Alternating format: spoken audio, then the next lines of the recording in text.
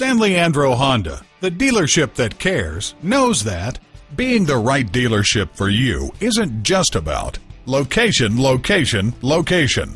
It's about community. San Leandro Honda donates a portion of all sales, service, and parts revenue to improving the ecosystem of the Bay Area through the Save the Bay Foundation.